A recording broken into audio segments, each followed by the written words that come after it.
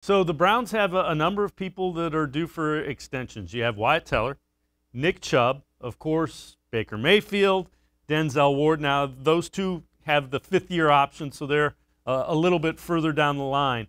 Which of those do you think gets done first? Do you think any of them get done this offseason since the Browns do have some salary cap available to, uh, to, to potentially do one of those or two of those extensions? Yeah, I think like you said with those fifth year options being taken i think that you know you gotta you gotta figure out if you want to keep nick chubb and wyatt teller, teller here you have to figure out those extensions first. Um, i honestly think that nick chubb probably gets the look first because as much as you know running backs get they get the the brunt of the work and they don't you know they don't get to stay around in the league as long because the kinds of hits they're taking and the and the wear and tear on them. Uh, but nick chubb is something special uh, I think obviously you could get a running back that gives you maybe 70, 80% of what Nick Chubb is. Um, but are you willing to take that fall off uh, and that that step down from what Nick Chubb is able to offer? I think that he's a very, very special talent. He think that he is arguably, if and I and I say definitively, I think is the best running back in the NFL right now. And I don't think that that's a gamble that you want to you want to take, especially with a, a dominant run game and being able to mix up the the offense the way that the Browns are able to do.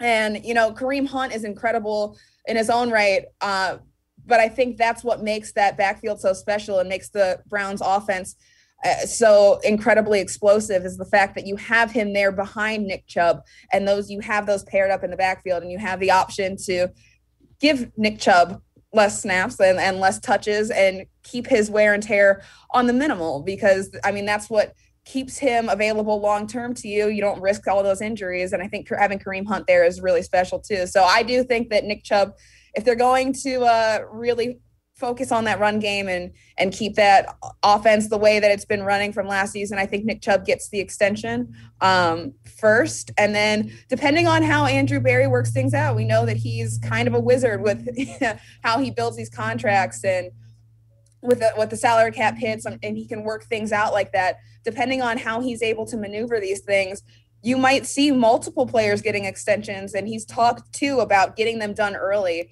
seeing the players identifying the players with the talent that they want to keep going and then offering giving them the extensions early on. I think nick chubb is one of those players that should be identified as that kind of talent um, and then yes, if you can if you can make the money work, you can get that contract extension. I think Wyatt Teller is a huge piece, and he also deserves that extension because that run game is nowhere near as efficient without him on the field. We saw it; he's a top rated guard in the NFL. That's not an, again another talent you don't want to lose. So it all comes down to money. Obviously, they don't have. if it was endless money and it didn't come down to salary caps, you would extend everybody, but that's not how it works. So I, I could see something where it's Nick Chubb first, maybe Wyatt Teller if you could work it out, and then depending on how this defense goes.